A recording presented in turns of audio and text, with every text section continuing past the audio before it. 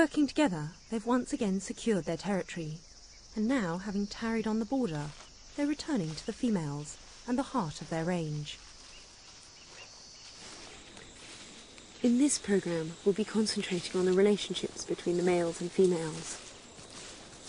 Usually, the alpha male can have any female that he wants. When he's away, the others step in.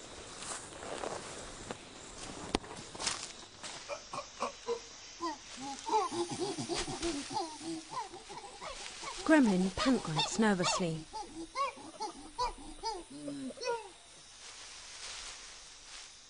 She's coming into season, and Frodo wants her to follow him. She's reluctant, but Frodo has caught her alone.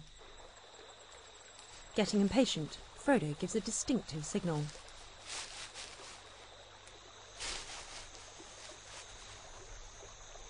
Branch shaking is used by males to call females, and to avoid trouble, Gremlin gives in and goes to him.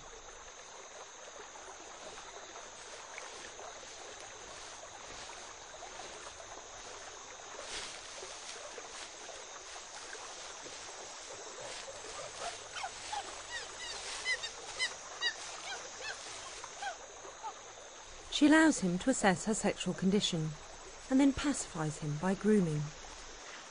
She's tense and anxious, but the younger ones can't possibly comprehend their mother's predicament. Galahad amuses himself nearby, but his younger sister is being weaned and wants constant reassurance from Gremlin. She's confused by Frodo's interest in her mother.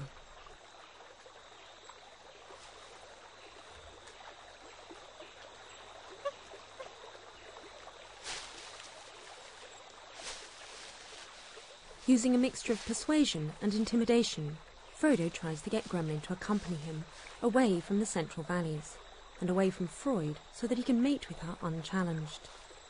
But Gremlin's best tactic is to remain in the heart of their range. She keeps stalling for time, and progress is slow.